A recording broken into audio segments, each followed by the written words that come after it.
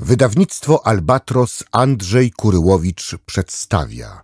Harlan Coben. Zostań przy mnie. Czyta Krzysztof Globisz. Tłumaczenie Zbigniew Królicki. Realizacja nagrania.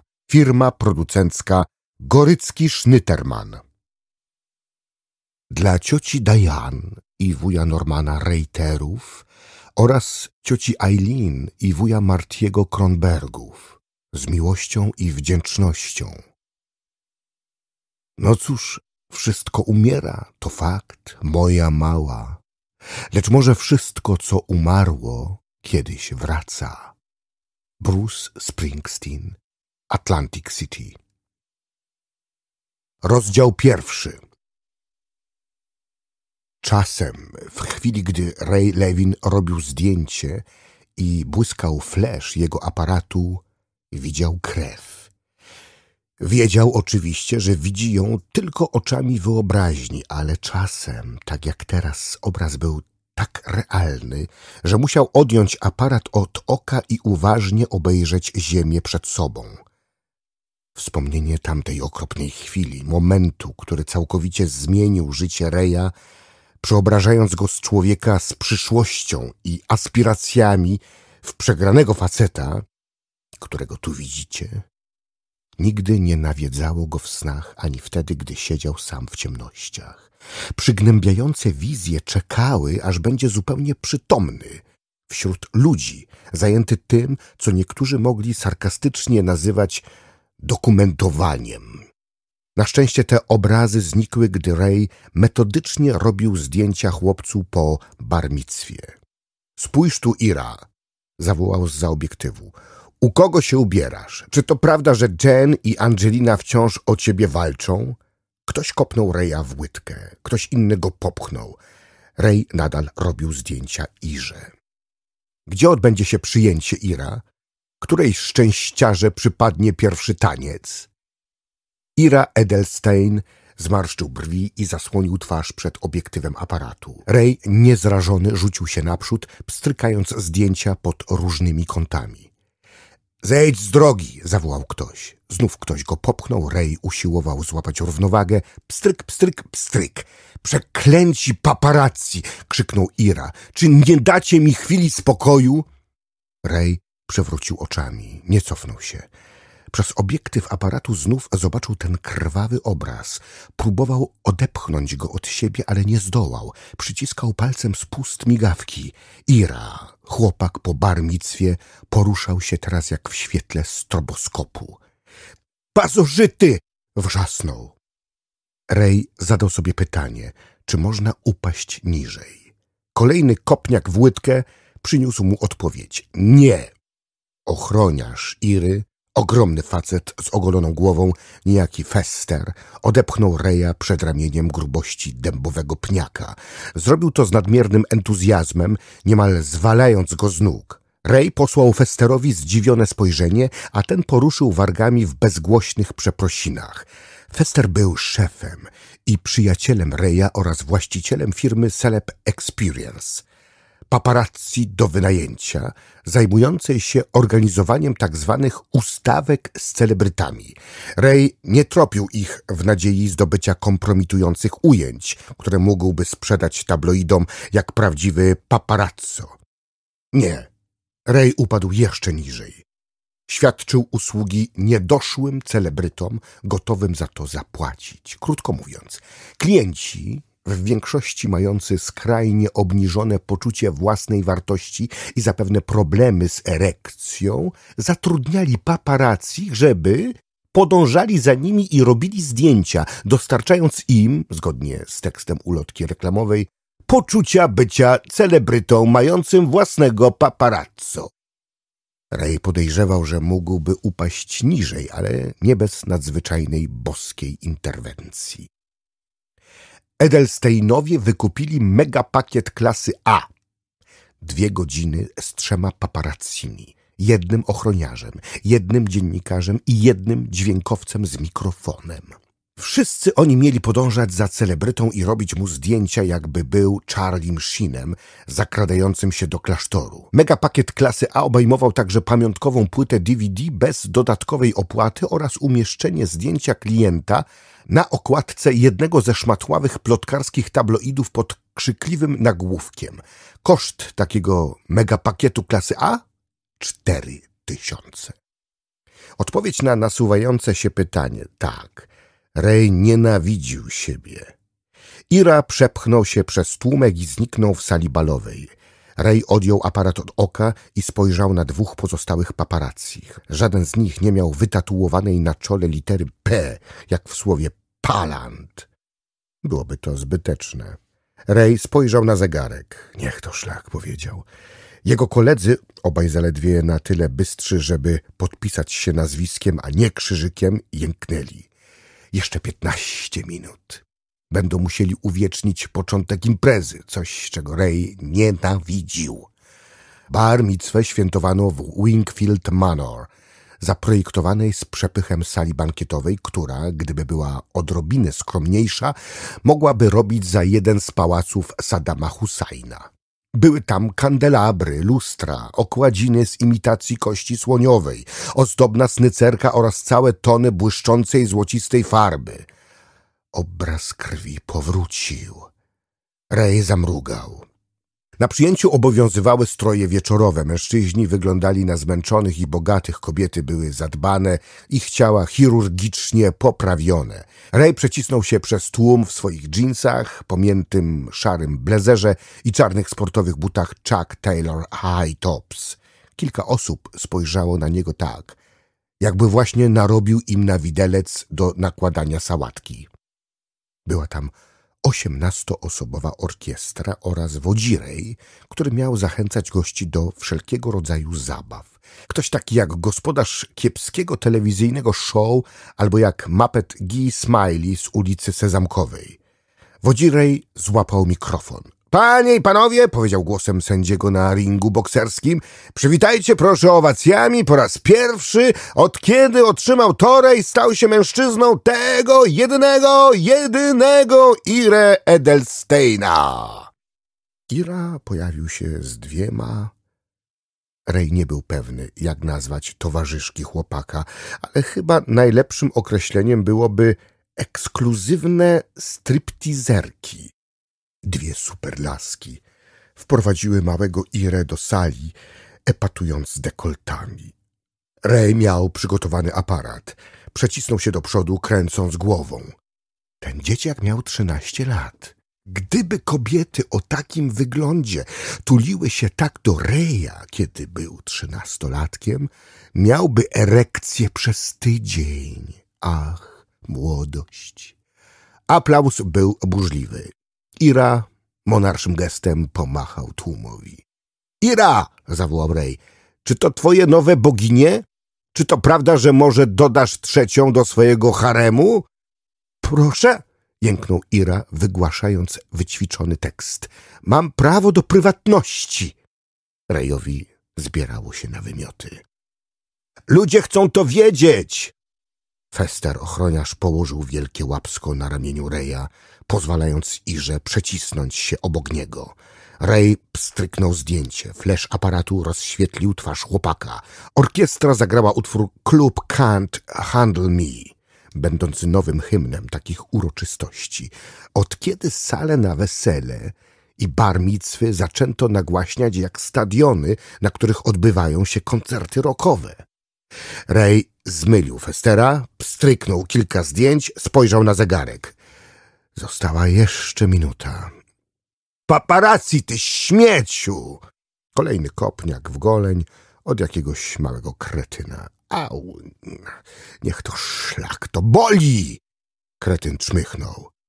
Rej zanotował w myślach, żeby zacząć nosić nagolenniki.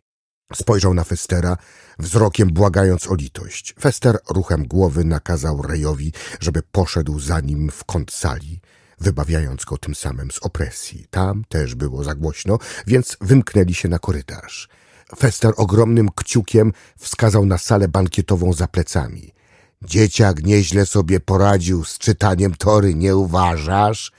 Ray tylko na niego popatrzył.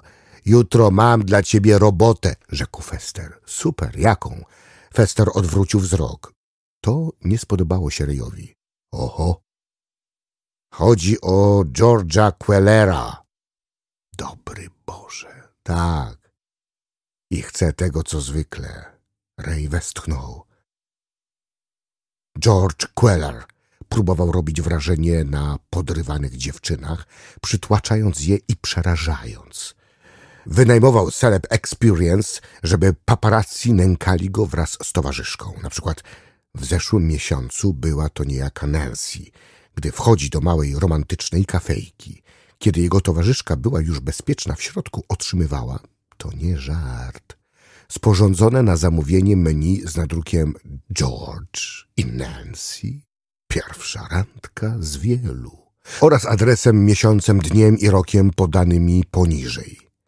Kiedy opuszczali restaurację, wynajęci paparazzi pstrykali zdjęcia i pokrzykiwali, że George zrezygnował z weekendu na Karaibach z Jessiką Albą dla uroczej i przerażonej Nancy. George uważał te romantyczne manewry za preludium do szczęśliwego pożycia.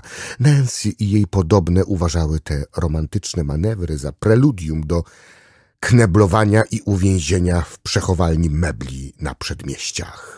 Żadna nigdy nie umówiła się z George'em na drugą randkę. Fester w końcu zdjął okulary przeciwsłoneczne. Chcę, żebyś pokierował tą robotą. Kierownik paparazzi, powiedział Ray.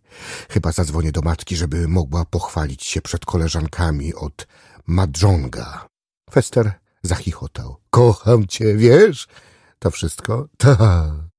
Ray starannie zapakował aparat, oddzielnie korpus i obiektyw, po czym zarzucił torbę na ramię. Poszedł do drzwi, utykając. Nie od kopniaków, ale kawałka szrapnela w biodrze. Tego szrapnela, który zapoczątkował jego upadek. Nie. To zbyt proste. Szrapnel był tylko wymówką. W pewnym momencie swego nędznego życia Ray miał niemal nieograniczone perspektywy. Ukończył Wydział Dziennikarstwa Uniwersytetu Columbia, mając coś, co jeden z profesorów nazwał niemal nadprzyrodzonym talentem, obecnie marnowanym w dziedzinie fotoreportażu. Jednak życie mu się nie ułożyło. Niektórzy ludzie przyciągają kłopoty. Niektórzy ludzie, niezależnie od tego, jak łatwa otworzy się przed nimi droga życia, znajdą sposób, żeby wszystko zepsuć. Ray Levin był jednym z takich ludzi. Było ciemno. Ray zastanawiał się, czy udać się prosto do domu i do łóżka, czy wpaść do baru tak podłego, że nazwano go tężcem. Trudny wybór, kiedy ma się tyle możliwości. Znów pomyślał o zwłokach. Obrazy pojawiały się teraz nagle i były bardzo wyraźne. Wydawało mu się to zupełnie zrozumiałe. Dziś przypadała rocznica dnia, kiedy wszystko się zmieniło, kiedy wszelkie nadzieje na szczęśliwe zakończenie umarły jak... No cóż, oczywista metafora wiązałaby się z tymi obrazami w jego głowie, prawda? Zmarszczył brwi. Hej, Rej, może dość tego melodramatyzowania, upomniał się w myślach. Miał nadzieję, że to idiotyczne dzisiejsze zlecenie pozwoli mu się oderwać od tych myśli. Tak się nie stało. Wspominał swoją barmicwę, moment za pulpitem, kiedy ojciec nachylił się i szeptał mu do ucha. Pamiętał, jak ojciec pachniał wodą toaletową Old Spice, jak delikatnie ujął w dłonie głowę Reja i ze łzami w oczach powiedział tylko tak bardzo cię kocham. Rej odepchnął od siebie tę myśl, mniej bolesne były myśli o zwłokach. Nie zamierzał płacić za parking, dlatego musiał zostawić samochód trzy przecznice dalej, w bocznej uliczce. Skręcił w nią i wóz tam był. Jego zdezelowana dwunastoletnia Honda Civic bez zderzaka i z boczną szybą sklejoną taśmą naprawczą. Rej potarł brodę, nieogolona, zarośnięty, czterdziestoletni, z rzęchowatym samochodem i mieszkaniem w suterenie – które po kapitalnym remoncie nadawałoby się na sracz, bez perspektyw, za często zaglądający do kieliszka. Poużalałby się nad sobą, ale szczerze mówiąc, niewiele go to wszystko obchodziło. Właśnie wyjmował kluczyki od samochodu, kiedy otrzymał silny cios w tył głowy. Co do... Osunął się na kolana, pociemniało mu w oczach. Poczuł mrowienie całej skóry na głowie, był zdezorientowany. Spróbował potrząsnąć głową, odzyskać jasność widzenia. Następny cios wylądował tuż przy skroni. Coś eksplodowało w jego głowie w rozbłysku jasnego światła. Rej upadł na ziemię, rozciągając się jak długi. Może stracił przytomność. Nie był tego pewien, ale nagle poczuł, że ktoś szarpie go za prawe ramię. Przez moment leżał bezwładnie, nie mogąc i nie chcąc stawiać oporu. W głowie wirowało mu z bólu.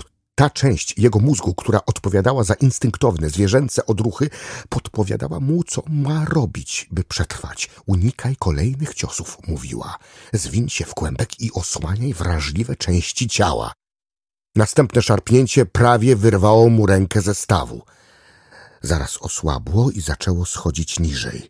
Uświadomiwszy sobie to, Ray gwałtownie otworzył oczy. Ktoś chciał ukraść mu aparat. Była to klasyczna lejka z niedawno dodaną możliwością wysyłania danych. Poczuł, że jego ręka unosi się w powietrze, a pasek zsuwa się po niej. Za sekundę straci aparat. Ray nie miał wiele. Ten aparat był jedyną rzeczą, na której mu zależało. Był jego narzędziem pracy, oczywiście, ale także jedynym ogniwem łączącym go z dawnym Rejem, z życiem, jakie wiódł, zanim zaczęły go nawiedzać krwawe obrazy. I niech go licho, jeśli odda go bez walki. Za późno. Pasek już zsunął się z jego ręki. Rej zadał sobie pytanie, czy będzie miał jeszcze okazję odzyskać aparat, jeśli rabuś zamierza zabrać mu portfel z czternastoma dolarami. Nie mógł na to czekać. Nie! zawołał Ray, chociaż wciąż kręciło mu się w głowie, a nogi miał jak z waty. Spróbował rzucić się na napastnika, natrafił na coś, zapewne nogi, i złapał. Nie miał sił, żeby je ścisnąć, ale wystarczył impet zderzenia.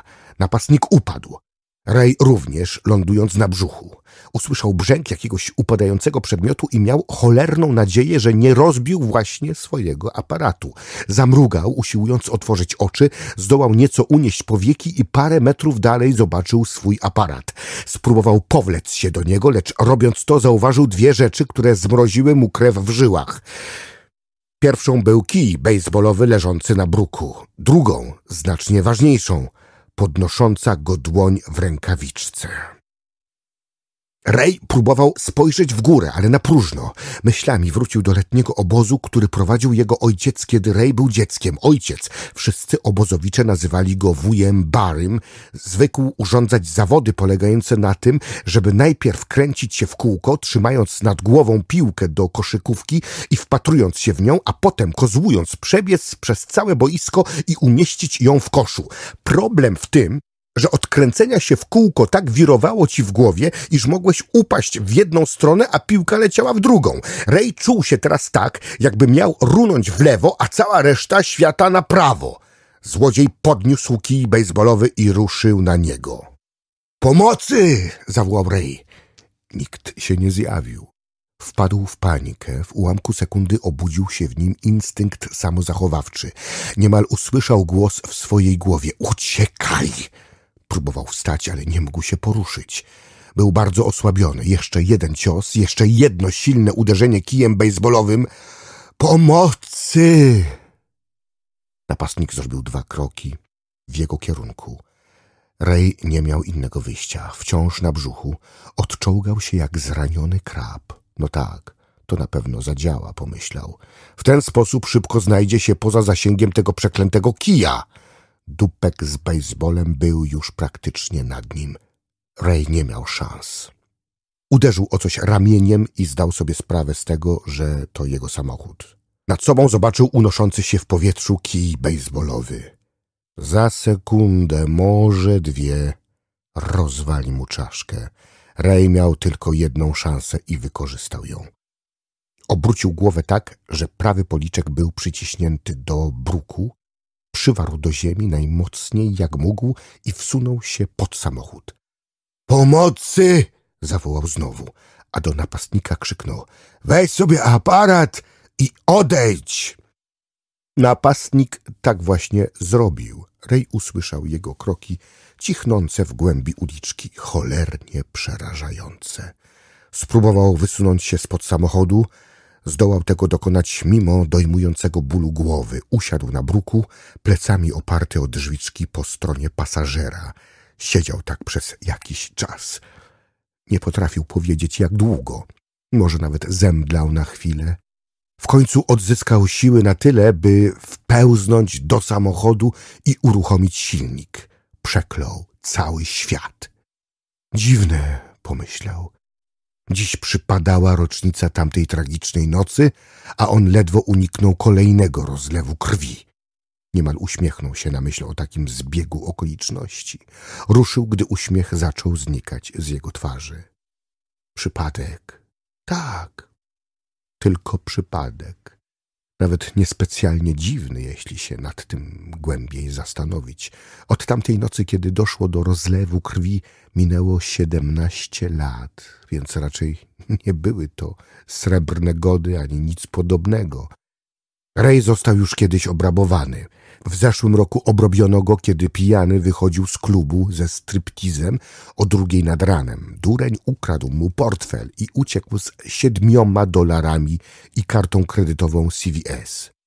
A jednak... Znalazł wolne miejsce na ulicy przed szeregówką, którą nazywał domem.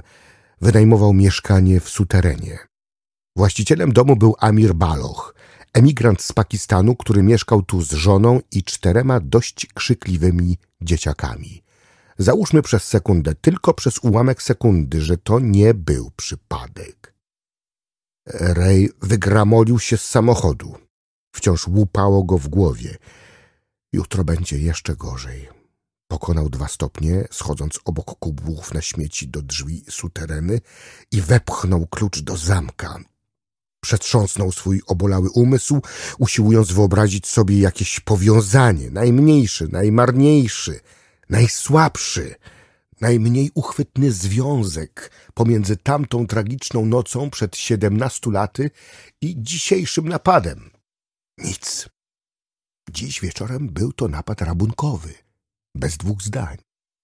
Walisz faceta po głowie kijem bejsbolowym, zabierasz mu aparat i uciekasz – tylko dlaczego napastnik nie zabrał również portfela? A może był to ten sam gość, który w zeszłym roku obrobił Reja przed klubem striptizowym i wiedział, że ma przy sobie tylko kilka dolarów? Do licha, a może to jednak był zbieg okoliczności. Zapomnij o dacie i rocznicy, pomyślał Rej. Może napastnik był tym samym facetem, który obrabował go rok temu. O rany, to bez sensu. Gdzie do cholery jest Wikodin? Przemknął mu przez głowę. Włączył telewizor i ruszył do łazienki. Kiedy otworzył drzwi szafki, do umywalki wpadło kilkanaście buteleczek i różnych drobiazgów. Poszperał w tym stosie i znalazł buteleczkę z wikodinem. A przynajmniej miał nadzieję, że to jest wikodin. Kupił go na czarnym rynku od faceta, który twierdził, że przemycił tabletki z Kanady. Z tego, co Ray wiedział, równie dobrze mogła to być witamina C. Nadawano lokalne wiadomości, w których pokazywano pożar gdzieś w okolicy i wypytywano sąsiadów, co o tym sądzą, ponieważ, jak wiadomo, od nich zawsze można uzyskać naprawdę wnikliwą ocenę sytuacji. Zadzwonił telefon komórkowy Reja. Na wyświetlaczu pojawił się numer Festera. — Co jest? — zapytał Rej, opadając na kanapę. — Masz okropnie zmieniony głos. Zostałem napadnięty zaraz po wyjściu z bar mitzwy Iry. Naprawdę? Hmm? Dostałem w głowę kijem bejsbolowym. Ukradli coś? Mój aparat. Czekaj. Więc straciłeś dzisiejsze zdjęcia? Nie, nie martw się, powiedział Ray. Nic mi nie jest, naprawdę. W głębi serca umieram z niepokoju. Pytam o zdjęcia, żeby ukryć mój ból. Mam je, rzekł Rej. Jak to? Za bardzo bolała go głowa, żeby to wyjaśniać, a ponadto zaczynał odpływać w sen po zażyciu wikodinu. Nie martw się o nie. Są bezpieczne. Kilka lat temu, kiedy Ray pracował jako prawdziwy paparazzo, wykonał kilka kompromitujących zdjęć pewnego bardzo popularnego aktora geja, zdradzającego swojego chłopca z kobietą. Ochroniarz aktora przemocą zabrał Rayowi aparat i zniszczył kartę pamięci. Ray wyposażył swój aparat w możliwość wysyłki danych, opcję podobną do tej, jaką można znaleźć w telefonach komórkowych. Automatyczne przesyłanie co 10 minut zdjęć z karty pamięci na jego skrzynkę pocztową. Właśnie dlatego dzwonię, powiedział Fester. Są mi potrzebne i to szybko. Wybierz pięć z nich i prześlij mi jeszcze dziś wieczór mailem. Tato Iry chce natychmiast mieć przycisk do papierów z naszymi zdjęciami z barmicwy. W wiadomościach telewizyjnych kamera skierowała swój obiektyw na meteorologa. Dziewczynę o bujnych kształtach i w obcisłym czerwonym sweterku. Zwiększanie oglądalności. Rejowi zaczęły opadać powieki, gdy pogodynka zakończyła prognozę i pokazano zdjęcie satelitarne, a na ekranie pojawił się zbyt kunsztownie uczesany prezenter. Rej! Pięć fotek do przycisku do papieru w kształcie sześcianu. Właśnie! Sześcian ma sześć boków, przypomniał Rej. O, chylę czoło przed matematycznym geniuszem. Szósty bok jest na nazwisko, datę oraz gwiazdę Dawida. Rozumiem. Potrzebuję ich najszybciej jak się da. Dobrze. Zatem wszystko w porządku? rzekł Fester. Tylko, że bez aparatu nie możesz jutro zająć się George'em Quellerem. Nie martw się. Znajdę kogoś innego. Teraz będę spał spokojniej. Zabawny z ciebie gość, Ray. Prześlij mi te fotki, a potem trochę odpocznij. Rozczula mnie twoja troska, Fester. Rozłączyli się. Ray opadł z powrotem na kanapę. Lek miał cudowne działanie. Ray niemal się uśmiechnął. W telewizji prezenter grobowym głosem rzekł. Zaginął Carlton Flynn. Jego samochód z otwartymi drzwiami znaleziono na nabrzeżu. Ray otworzył jedno oko i zerknął. Na ekranie pokazywano wiecznego chłoptasia z jasnymi pasemkami, w nastroszonych czarnych włosach i z kolczykiem w uchu. Przesyłał kamerze całusa, a podpis pod zdjęciem głosił zaginiony, podczas gdy zapewne powinien brzmieć lamer. Ray zmarszczył brwi gdy przez głowę przemknęła mu jakaś niejasna, niepokojąca myśl, której nie potrafił teraz uchwycić. Całe jego ciało domagało się snu, ale gdyby nie wysłał tych pięciu zdjęć, Fester zadzwoniłby ponownie, a kto by tego chciał? Ray z trudem podniósł się z kanapy, powlókł się do kuchennego stołu, uruchomił laptopa i upewnił się, że zdjęcia istotnie znalazły się w jego komputerze. Były tam. Dręczył go jakiś podświadomy niepokój, lecz Ray nie mógł określić jego powodu. Może męczyło go coś nieistotnego, a może próbował sobie przypomnieć coś naprawdę ważnego, a może, co najbardziej prawdopodobne, uderzenie kijem bejsbolowym w głowę sprawiło, że maleńkie odpryski kości czaszki dosłownie szatkowały mu mózg.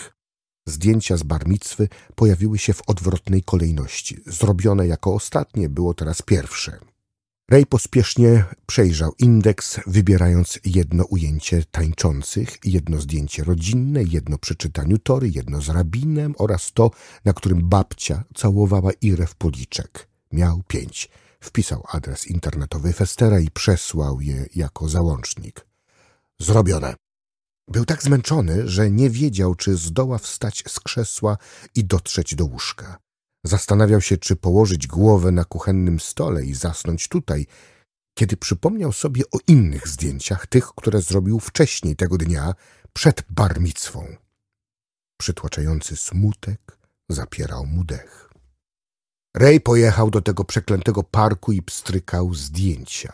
To głupie, ale robił to co rok. Nie potrafił wyjaśnić dlaczego, a może potrafił. I to było jeszcze gorsze. Obiektyw aparatu pozwalał mu spojrzeć na wszystko z dystansem, z perspektywy, poczuć się bezpiecznie. Może właśnie o to chodziło. Oglądanie tego okropnego miejsca w pewien sposób uspokajało. Miał nadzieję, że dzięki temu zmieni to, czego oczywiście nie można zmienić. Ray obejrzał na ekranie monitora komputerowego zdjęcia, które zrobił wcześniej tego dnia i teraz przypomniał sobie jeszcze coś. Facet z jasnymi pasemkami i kolczykiem. Dwie minuty później znalazł to, czego szukał. Wtedy coś zrozumiał i nagle zrobiło mu się zimno. Napastnikowi nie chodziło o aparat. Chciał zdobyć zdjęcie. To zdjęcie. Rozdział drugi. Megan Pierce pełniła funkcję dyżurnej matki odwożącej dzieci na liczne zajęcia pozalekcyjne i nienawidziła tego. Zamknęła lodówkę i spojrzała na dwójkę swoich dzieci przez wykuszowe okna kącika śniadaniowego. Te okna zapewniały niezbędne poranne światło. Tak ujął to architekt. W ich niedawno odnowionej kuchni była także kuchenka gazowo-elektryczna, sprzęt firmy Mile, na środku wyspa z marmurowym blatem oraz szerokie przejście do salonu zmienionego w salę kinową z wielkoekranowym telewizorem, fotelami z uchwytami na kubki oraz kolumnami w liczbie wystarczającej do nagłośnienia koncertu The Who. Na podwórku za domem Kaylee jej piętnastoletnia córka dokuczała młodszemu bratu Jordanowi. Megan westchnęła i otworzyła okno. Przestań, Kaylee! Ja nic nie zrobiłam. Stałam tutaj i obserwowałam cię. Kaylee wzięła się pod boki. Piętnastolatka w tym niespokojnym okresie dorastania, przechodzenia z dzieciństwa w dorosłość, kiedy ciało i hormony zaczynają szaleć. Megan dobrze pamiętała ten stan. I co widziałaś? wyzywająco spytała Kaylee. Widziałam, jak dokuczasz bratu. Byłaś w środku, nie mogłaś nic słyszeć. Równie dobrze mogłam powiedzieć: Tak bardzo cię kocham, Jordan. Wcale tak nie mówiła! krzyknął Jordan. Wiem, że nie, rzekła Megan. Nazwała mnie lamerem i powiedziała, że nie mam przyjaciół. Megan westchnęła. Kaylee, wcale tak nie mówiłam. Megan tylko zmarszczyła brwi. To jego słowo przeciwko mojemu, upierała się Kaylee. Dlaczego zawsze bierzesz jego stronę? Każdy dzieciak, pomyślała Megan, jest sfrustrowanym adwokatem, szukającym luk prawnych, domagającym się nierealnie niepodważalnych dowodów, atakującym nawet najdrobniejsze szczegóły. Masz dziś trening, powiedziała Megan do Kaylee. Kaylee przechyliła głowę na ramię i cała oklapła. Czy muszę iść? Zapisałaś się do tej drużyny, młoda damo. Kiedy Megan to powiedziała, chociaż mówiła to już milion razy, sama nie mogła uwierzyć, że te słowa padły z jej ust. Nie chcę iść, jęknęła Kaylee. Jestem taka zmęczona. A później mam pójść z Ginger, pamiętasz? Na Kaylee może powiedziałaby więcej, ale Megan już się odwróciła, niezainteresowana. W pokoju telewizyjnym jej mąż, Dave, wylegiwał się w szarym dresie. Oglądał wywiad z kolejnym podupadłym aktorem filmowym, który w niesmaczny sposób chwalił się swymi miłosnymi podbojami i wyczynami w klubach ze striptizem. Aktor sprawiał wrażenie nawiedzonego, miał rozbiegany wzrok i najwyraźniej był na jakichś prochach, przepisanych przez bardzo liberalnego lekarza. Siedzący na kanapie Dave z niesmakiem pokręcił głową. Dokąd zmierza ten świat? powiedział wskazując na ekran. Czy ty słyszysz, co opowiada ten kutas, co za palant? Megan kiwnęła głową, powstrzymując uśmiech. Przed laty dobrze znała tego Palanta, nawet bardzo dobrze. Pan Palant był właściwie całkiem miłym facetem, który dawał hojne napiwki, lubił zabawy we troje i płakał jak dziecko, kiedy za dużo wypił. Dawno temu. Dave odwrócił się i uśmiechnął do niej szeroko. Hej, dziecino, hej. Dave wciąż to robił, uśmiechał się do niej, jakby zobaczył ją po raz pierwszy i znów uświadomiła sobie, że ma szczęście, że powinna być wdzięczna. Takie teraz było jej życie, dawne życie, o którym nie wiedział nikt w tej szczęśliwej, podmiejskiej krainie cichych zaułków, dobrych szkół i okazałych rezydencji, zostało zabite i pogrzebane w płytkim dole. Chcesz, żebym odwiózł Kaylee na trening? zapytał Dave. Ja to zrobię. Jesteś pewna. Megan skinęła głową. Nawet Dave nie znał prawdy o kobiecie, która dzieliła z nim łoże przez szesnaście ostatnich lat. Nie wiedział, że Megan tak naprawdę ma na imię Megin, ale pisane przez AY. Oba wymawiało się tak samo, lecz dla komputerów i dokumentów tożsamości ważna jest tylko pisownia. Zapytałaby matkę, skąd to niezwykłe imię, ale jej matka umarła, zanim Megan zaczęła mówić. Nigdy nie znała ojca ani nie wiedziała, kto nim był. Wcześniej została sierotą, dorastała w biedzie i pracowała jako striptizerka w Vegas, a potem w Atlantic City, ale uwielbiała tę pracę, tak. Uwielbiała. To było zabawne, ekscytujące i elektryzujące. Zawsze coś się działo, zawsze miało się poczucie zagrożenia, nieograniczonych możliwości i namiętności. Mamo, to Jordan. Tak, kochanie. Pani Friedman mówi, że nie podpisałaś formularza zezwolenia na mój udział w wycieczce klasowej. Prześlę jej mailem. Powiedziała, że miała go otrzymać do piątku. Nie przejmuj się tym, kochanie, dobrze? Zajęło to Jordanowi chwilę czy dwie, ale w końcu się rozchmurzył. Megan wiedziała, że powinna dziękować za to, co ma. W życiu, jakie dawniej wiodła, dziewczyny umierają młodo. Każda emocja, każda sekunda jest przeżywana zbyt intensywnie, wzmocniona do dziesiątej potęgi, co nie sprzyja długowieczności. Wypalasz się, Żyjesz w stałym napięciu, coś takiego uderza do głowy, jest też nierozerwalnie związane z pewnym ryzykiem.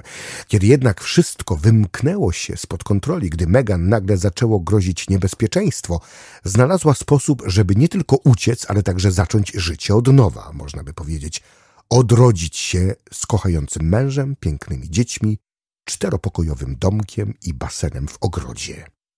W jakiś sposób niemal zupełnie przypadkowo Megan Pierce wyrwała się z głębi tego, co niektórzy mogliby nazwać cuchnącym bagnem w sam środek amerykańskiego snu. Aby się uratować, musiała stosować się do reguł gry i niemal wmówić sobie, że to najlepszy ze światów. A dlaczego nie?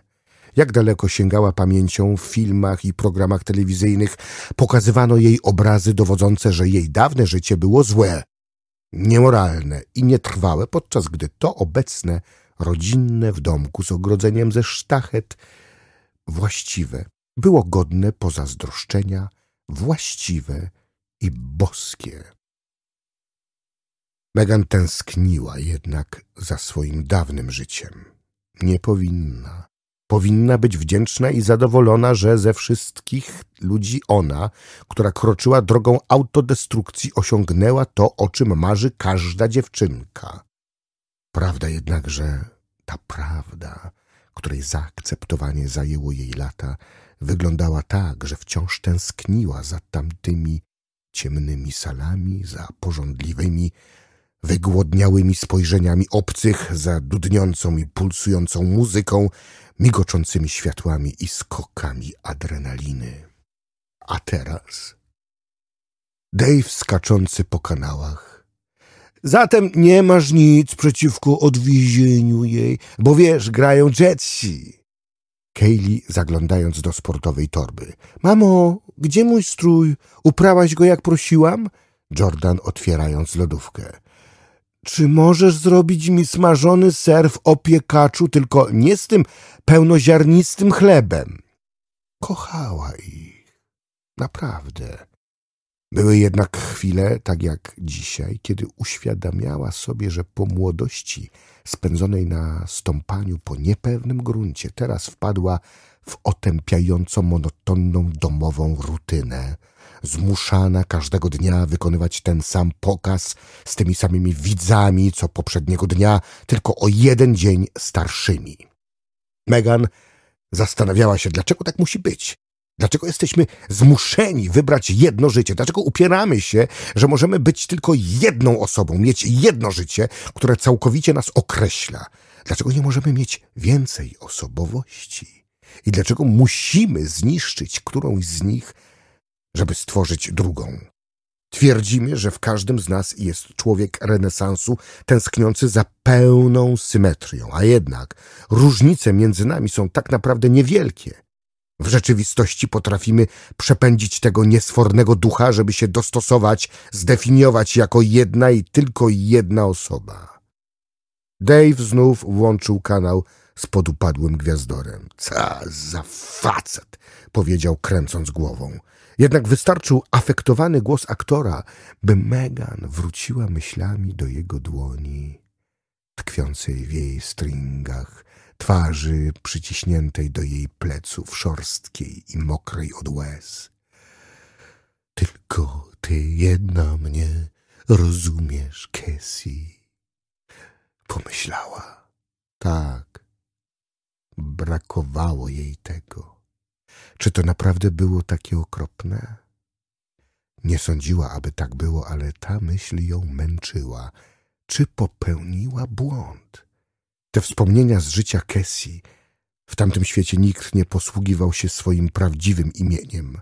Przez lata były trzymane pod kluczem w niewielkiej komórce jej pamięci, aż nagle, przed kilkoma dniami, otworzyła te drzwi i uchyliła je odrobinę.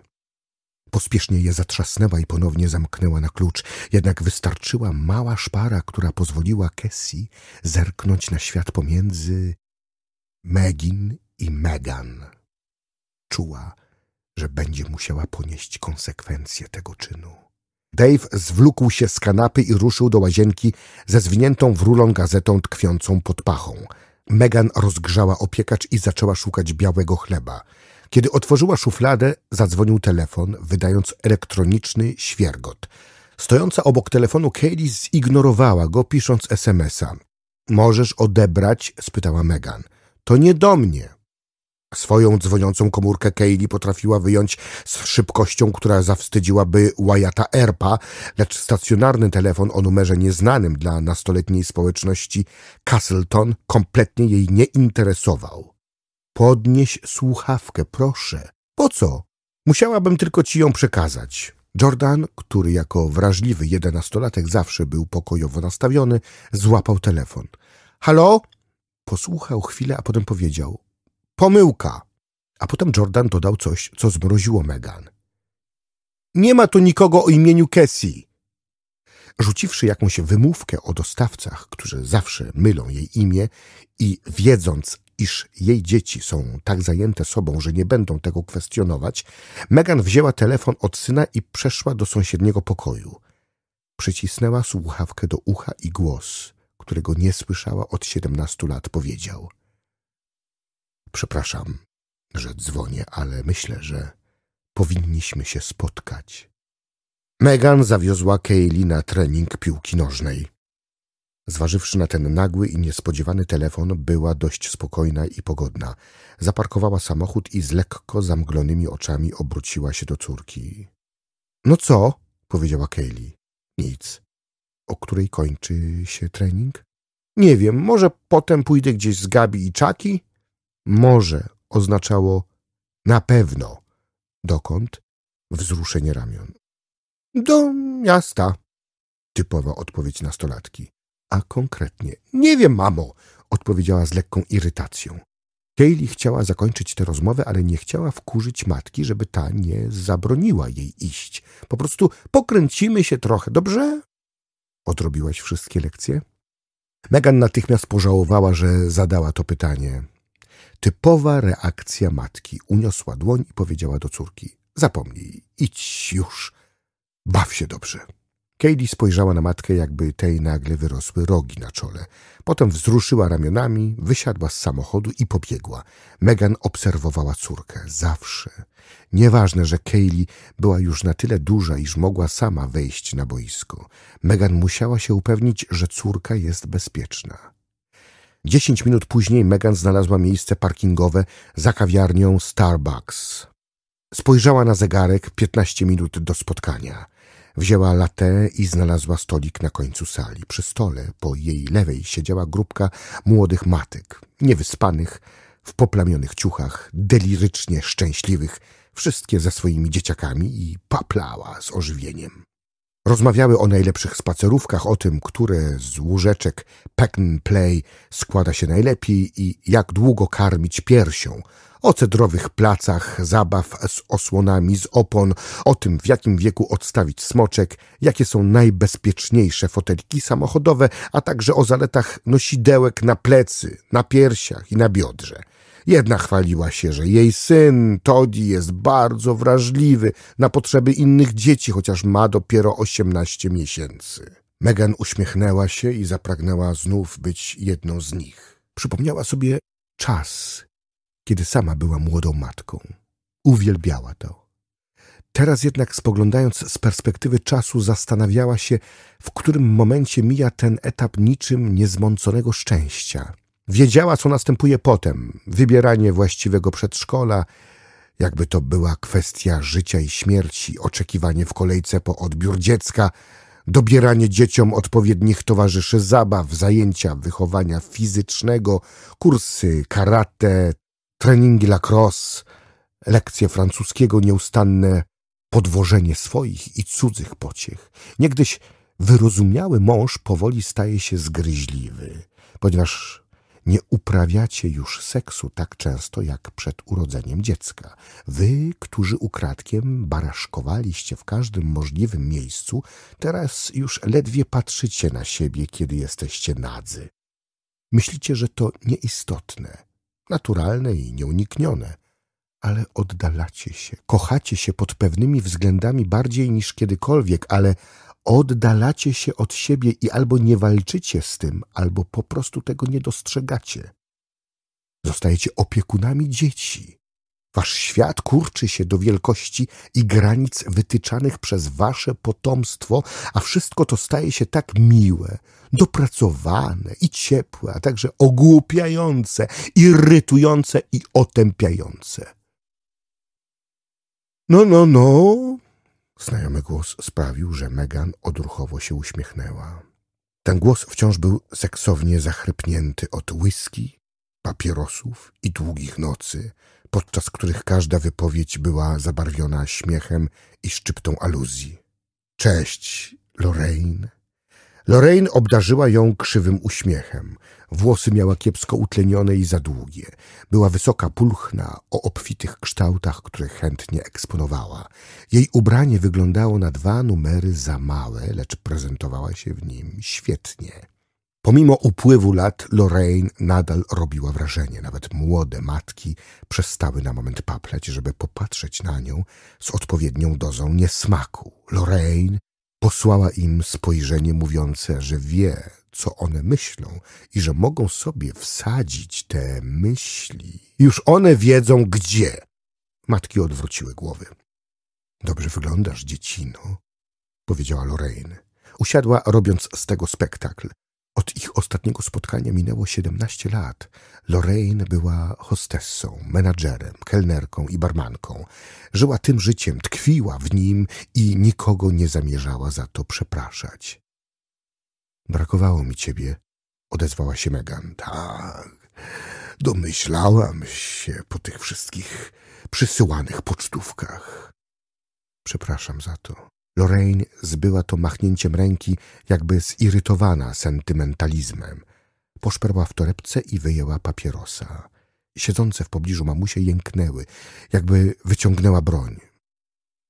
O rany, powinnam zapalić tylko po to, żeby zobaczyć, jak uciekają. Megan nachyliła się do niej. Jak mnie znalazłaś? Krzywy uśmiech znów zagościł na ustach Lorraine. Daj spokój, Złotko. Zawsze wiedziałam, gdzie jesteś. Mam oczy wszędzie, jak wiesz. Megan chciała pytać dalej, ale coś w tonie głosu Lorraine kazało jej milczeć. Spójrz na siebie, powiedziała Lorraine. Żonata, dzieciata, z wielkim domem. Na parkingu stoi mnóstwo białych Cadillaców Escalade. Jeden z nich jest twój? Nie, przyjechałam czarnym GMC Acadia. Lorraine skinęła głową, jakby ta odpowiedź coś oznaczała. Cieszę się, że ułożyłaś sobie życie, chociaż wiesz co? Szczerze mówiąc, zawsze sądziłam, że zostaniesz w Atlantic City. No zawsze, tak jak ja. Lorraine zachichotała i potrząsnęła głową. Wiem, powiedziała Megan. Sama byłam trochę zaskoczona. Oczywiście, nie wszystkie dziewczyny, które wychodzą na prostą, same to wybierają, oznajmiła Lorraine z taką miną, jakby rzuciła niewinną uwagę. Obie wiedziały, że tak nie jest. Miałyśmy trochę zabawy, no nie? Owszem, ja wciąż mam, dodała Lorraine. To wzrokiem wskazała młode matki. Chcę powiedzieć, że je podziwiam. Naprawdę, jednak sama nie wiem. To nie dla mnie. Wzruszyła ramionami. Może jestem zbyt samolubna, jakbym miała ADHD albo coś. Potrzebuję czegoś, co mnie pobudza. Dzieciaki potrafią pobudzić, wierz mi. Tak? odparła. W jej głosie pobrzmiewało powątpiewanie. Cóż, miło mi to słyszeć. Megan nie wiedziała, co powiedzieć. Zatem wciąż pracujesz w La Creme? Hmm, głównie za barem. Skąd więc ten nagły telefon? Lorraine bawiła się niezapalonym papierosem. Mamuśki wróciły do swej paplaniny, chociaż z mniejszym entuzjazmem. Nieustannie ukradkiem zerkały na Lorraine, jakby była jakimś wirusem wprowadzonym do ich podmiejskiej formy życia i mającym za zadanie je zniszczyć. Jak powiedziałam, e, zawsze wiedziałam, gdzie jesteś, jednak nigdy bym tego nikomu nie wyjawiła, wiesz o tym, prawda? Wiem. Uciekłaś i nie chciałam wciągać cię w to z powrotem, ani teraz nachodzić. Ale Lorraine napotkała jej spojrzenie. Ktoś cię zauważył. Czy może powinnam powiedzieć, zauważył Cassie? Megan poruszyła się na krześle. Wróciłaś do La Creme, prawda? Megan nie odpowiedziała. Hej, rozumiem to, wierz mi. Gdybym przez cały dzień przestawała z takimi słoneczkami. Lorraine kciukiem wskazała grupkę matek przy stoliku obok. Złożyłabym w ofierze cielca, żeby od czasu do czasu zrobić sobie wolny wieczór. Megan spojrzała na swoją filiżankę z kawą, jakby ta kryła odpowiedź. Istotnie wróciła do La Creme, ale tylko raz. Dwa tygodnie temu, kiedy zbliżała się kolejna rocznica jej ucieczki, pojechała do Atlantic City na seminarium szkoleniowe i wystawę. Teraz, kiedy dzieci trochę podrosły, Megan postanowiła spróbować sił w handlu nieruchomościami. Przez kilka ostatnich lat usiłowała znaleźć sobie jakieś zajęcie. Były kursy fizjoterapii i jogi, wyrobu ceramiki i w końcu pisania pamiętnika, który w przypadku Megan oczywiście był fikcyjny.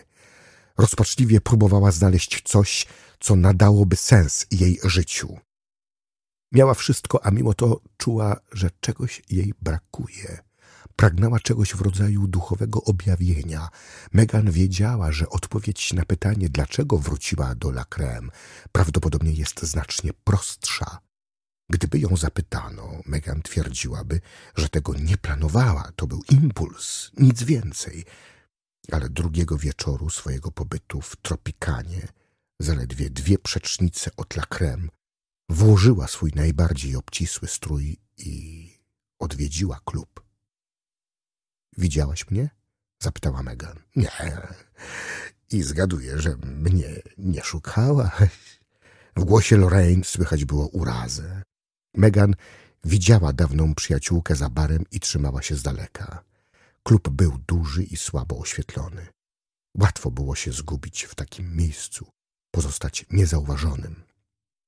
Nie chciałam. Megan urwała. Zatem kto? Nie wiem. Czyli to prawda. To był tylko jeden raz, broniła się Megan. Lorraine nic nie powiedziała. Nie rozumiem, w czym problem. Dlaczego tam wróciłaś? Czy to ważne? Nie dla mnie, powiedziała Lorraine, ale jakiś gliniarz się dowiedział. Ten sam, który szukał cię przez te wszystkie lata. Nigdy nie odpuścił. I myślisz, że teraz mnie znajdzie? Tak, odparła Lorraine. Myślę, że to bardzo prawdopodobne, że cię znajdzie. Zatem chciałaś się ze mną spotkać, żeby mnie ostrzec? Coś yy, w tym rodzaju. I co jeszcze? Nie wiem. Co zdarzyło się tamtej nocy? Powiedziała Lorraine. I nie chcę wiedzieć. Jestem szczęśliwa, lubię swoje życie, robię co chcę i z kim mam ochotę. Nie wtrącam się w cudze sprawy, rozumiesz, co mówię? Tak. I mogę się mylić. Wiesz, jak jest w klubie. Słabe oświetlenie, poza tym minęło ile? Siedemnaście lat? Tak, więc mogłam się pomylić. To była tylko sekunda, ale z tego co wiem, to wydarzyło się właśnie tamtego wieczoru, kiedy ty tam byłaś. Jednak wróciłaś, a teraz zaginął ktoś jeszcze. O czym ty mówisz, Lorraine? Co widziałaś? Lorraine spojrzała na nią i przełknęła ślinę. Stuarta, powiedziała, bawiąc się niezapalonym papierosem. Myślę, że widziałam Stuarta Greena. Rozdział trzeci Z ciężkim westchnieniem detektyw Broom podszedł do spisanego na straty domu i zadzwonił. Sara otworzyła drzwi i ledwie na niego spojrzawszy powiedziała — wejdź. Brum wytarł buty, czując się głupio, zdjął stary prochowiec i przewiesił go przez ramię. Nic w tym domu się nie zmieniło przez te wszystkie lata. Niemodne, podtynkowe oprawy oświetleniowe, biała skórzana kanapa, stary fotel w kącie. Wszystko było takie samo. Nawet zdjęć na półce nad kominkiem nie poprzestawiano. Przez długi czas, co najmniej pięć lat, kapcie męża Sary leżały przy tym starym fotelu. Teraz ich nie było, ale fotel wciąż tam stał. Brum zastanawiał się, czy ktoś czasem na nim siada. Było tak, jakby ten dom nie chciał pogodzić się ze stratą, jakby ściany i sufity płakały i czekały, a może tylko tak sobie wyobrażał. Ludzie potrzebują wyjaśnień, chcą zakończeń. Nadzieja, jak wiedział Brum, może być wspaniałą rzeczą, może także nadzieja może być najokrutniejszą rzeczą na świecie. Przegapiłeś rocznicę, powiedziała Sara. Brum skinął głową, jeszcze nie gotowy, żeby jej powiedzieć dlaczego. Jak się mają dzieci? Dobrze. Dzieci Sary były już praktycznie dorosłe. Suzy studiowała na pierwszym roku w Bucknell, Brandon kończył liceum. Byli jeszcze mali, kiedy ich ojciec znikł i żadna z ukochanych przez niego osób więcej go nie zobaczyła. Brum nigdy nie rozwiązał tej sprawy i nigdy o niej nie zapomniał. Nie powinien się osobiście angażować. Wiedział o tym, a jednak to zrobił. Chodził na recitale taneczne Suzy. Uczył Brandona rzucać piłką, a nawet przed dwunastoma laty ku swojemu ogromnemu zawstydzeniu za dużo wypił z Sarą i, no cóż, został na noc. Jak nowa praca? spytał ją Brum. Dobrze. Czy twoja siostra wkrótce przyjeżdża? Sara westchnęła. Tak. Sara wciąż była atrakcyjną kobietą, chociaż w kącikach oczu miała już kurze łapki, a bruzdy wokół ust pogłębiły się z wiekiem. Niektóre kobiety ładnie się starzeją, Sara była jedną z nich. Przed ponad dwudziestoma laty wygrała walkę z nowotworem. Powiedziała o tym Brumowi podczas ich pierwszego spotkania, kiedy przyszedł tu prowadząc sprawę zniknięcia. Zdiagnozowano nowotwór, wyjaśniła mu Sara, kiedy była w ciąży z Suzy. Opierała się, że nie wyzdrowiałaby, gdyby nie jej mąż. Chciała, żeby Brum to zrozumiał. Gdy rokowania były złe, kiedy straciła włosy i urodę, kiedy chemioterapia wyniszczała jej ciało i nikt inny, włącznie z Sarą, nie miał już nadziei, znowu to słowo, on i tylko on stał przy niej. Co ponownie dowodziło, że nie da się wytłumaczyć złożoności ludzkiej natury i ludzkiej hipokryzji. Był przy niej. Trzymał rękę na jej czole do późnej nocy. Podawał jej lekarstwa, całował w policzek, obejmował jej drżące ciało i sprawiał, że czuła się kochana. Patrzyła Brumowi w oczy i mówiła o tym wszystkim, ponieważ chciała, żeby nadal prowadził tę sprawę, a nie przyjął, że jej mąż uciekł z domu, żeby detektyw zaangażował się osobiście i odnalazł jej ukochanego, ponieważ po prostu nie mogła bez niego żyć. Siedemnaście lat później, chociaż dowiedział się kilku przykrych rzeczy, Brum wciąż tu był, a los męża i bratniej duszy Sary nadal pozostawał zagadką. Brum spojrzał na Sarę. To dobrze, powiedział i usłyszał w swoim głosie bełkotliwy ton. Mówię o wizycie twojej siostry. Wiem, że lubisz, kiedy ona przyjeżdża. Tak, to doskonale, odparła Sara głosem tak beznamiętnym, jakby wyprano go w pralce. Brum? Tak. Mówisz, byle mówić? Brum spojrzał na swoje dłonie. Próbowałem być miły. Nie, widzisz, to do ciebie nie pasuje, Brum. Ty nigdy nie mówisz, byle mówić. Słuszna uwaga. Więc o co chodzi? Pomimo całego wystroju, wesołej żółtej farby na ścianach świeżo ściętych kwiatów w wazonie, Brum widział tylko rozkład. Lata niewiedzy zniszczyły tę rodzinę. Dzieciaki wiele przeszły. Suzy dwukrotnie złapano na prowadzeniu pod wpływem alkoholu, Brandona na posiadaniu środków odurzających. Brum pomógł obojgu wykaraskać się z tarapatów. Ten dom wciąż wyglądał tak, jakby ich ojciec znikł wczoraj. Zamrożony w czasie, czekający na jego powrót. Sara nieco szerzej otworzyła oczy, jakby uświadomiła sobie bolesny fakt. Czy znaleźliście... Nie, to o co chodzi? Może to nic, rzekł Brum, ale... Brum siedział, opierając przedramiona na udach, z głową w dłoniach, nabrał tchu i spojrzał w jej pełne cierpienia oczy. Zniknął kolejny mężczyzna. Może widziałaś komunikat w wiadomościach. Nazywa się Carlton Flynn. Sara była zbita z tropu. Mówiąc, że zniknął, tak jak urwał. W jednej chwili Carton Flynn prowadził swoje życie, a w następnej puf, już go nie ma. Po prostu zniknął. Sara próbowała zrozumieć to, co powiedział. Przecież mówiłeś mi od początku, że ludzie znikają, prawda? Brum skinął głową. Czasem z własnej woli ciągnęła Sara, a czasem nie. Jednak tak bywa. Owszem, Zatem 17 lat po zniknięciu mojego męża inny człowiek, ten Carlton Flynn, zaginął. Nie widzę związku. Może żadnego nie ma, przyznał Brum. Przysunęła się do niego. Jednak... Jednak dlatego przegapiłem rocznicę. Co to oznacza? Brum nie wiedział, ile może jej powiedzieć. Jeszcze sam nie był pewny, ile wie. Pracował nad pewną teorią, która gryzła go i nie dawała mu spać, ale na razie nie miał nic konkretnego. Ten dzień, kiedy Carton Flynn zniknął, powiedział, tak? Dlatego mnie tu nie było. Zniknął 18 lutego. Dokładnie 17 lat po zniknięciu twojego męża. Sara przez moment wyglądała na oszołomioną. Dokładnie 17 lat, powtórzyła tak. Co to oznacza 17 lat? Może to zbieg okoliczności, gdyby to było 5, 10 lub 20 lat, ale 17? Nic nie powiedział, pozwalając jej zastanowić się nad tym przez chwilę.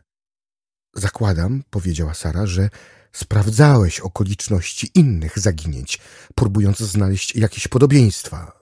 Właśnie. I? Są tylko dwie osoby, o których wiemy na pewno, że znikły 18 lutego twój mąż i Carlton Flynn.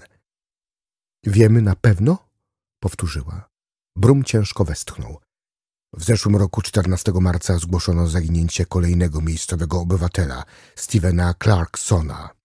Trzy lata wcześniej, 27 lutego, zgłoszono zaginięcie innego. Żadnego nie znaleziono? Zgadza się. Sara przełknęła ślinę. A więc może nie chodzi o dzień, może chodzi o luty i marzec. Nie sądzę. Przynajmniej dotychczas Widzisz, ci dwaj mężczyźni, Peter Berman i Greg Wogman, mogli zniknąć znacznie wcześniej. Jeden był włóczęgą, a drugi kierowcą ciężarówki. Obaj samotni, bez bliskiej rodziny. Jeśli tacy faceci nie wracają do domu przez 24 godziny, kto to zauważy? Ty zauważyłaś zniknięcie męża, oczywiście. Jeśli jednak facet jest samotny, rozwiedziony albo dużo podróżuje, może minąć kilka dni, zanim ktoś to zgłosi, dokończyła za niego Sara. Albo tygodni. To nie jest takie proste, rzekł Brum. Dlaczego? Ponieważ im dłużej się temu przyglądam, tym trudniej znaleźć w tym jakąś prawidłowość. Na przykład Wogman nie był miejscowy, mieszkał w Buffalo. Nikt nie wie, gdzie i kiedy zniknął, ale z tego, czego udało mi się dowiedzieć na temat ostatnich dni jego życia, wynika, że mógł się znaleźć w Atlantic City w lutym. Sara zastanowiła się nad tym. Wspomniałeś o pięciu mężczyznach, włącznie ze Stewartem, zaginionych w ciągu ostatnich siedemnastu lat. Byli jeszcze jacyś? Tak i nie. Przejrzałem raporty dotyczące dziewięciu mężczyzn, których zaginięcie zgłoszono po 18 lutego. Są jednak przypadki, w których ta teoria bierze w łeb. Na przykład dwa lata temu zaginął niejaki Clyde Horner, mieszkający z matką. Zgłoszenie przyjęto 17 lutego. Nie jest to więc 18 lutego. Zapewne nie. Może chodzi o luty. Może. Na tym polega problem z teoriami i schematami. Potrzeba czasu, żeby je sprawdzić. Wciąż zbieram dowody. Jej oczy wypełniły się łzami. Zamrugała, powstrzymując je. Nie rozumiem. Dlaczego nikt tego nie dostrzegł, skoro tyle osób zaginęło? Czego nie dostrzegł? zapytał Brum. Do diabła. Sam jeszcze nie jestem pewny, czy coś łączy te sprawy. Ludzie wciąż giną, przeważnie uciekają. Większość tych facetów bankrutuje, mają wierzycieli na karku, tracą wszystko, na co pracowali przez lata, więc zaczynają nowe życie. Przenoszą się na drugi koniec kraju, czasem zmieniają nazwiska, czasami nie. Wielu z nich, cóż, nikt ich nie szuka, nikt nie chce ich odnaleźć. Jedna z żon, z którą rozmawiałem, błagała mnie, żebym nie szukał jej męża. Miała z nim troje dzieci. Uważała, że uciekł z jakąś, jak to ujęła, wstrętną dziwką. I to najlepsza rzecz, jaka mogła jej się przytrafić. Milczeli przez długą chwilę. A co przedtem? zapytała Sara. Brum wiedział, o co pytała, ale mimo to powtórzył. Przedtem? Przed Stuartem. Czy ktoś znikł przed moim mężem? Przygładził dłonią włosy i podniósł głowę. Spojrzeli sobie w oczy. Nie znalazłem pasującego przypadku, odparł Brum. Jeśli to jest schemat, to zaczął się od Stewarta.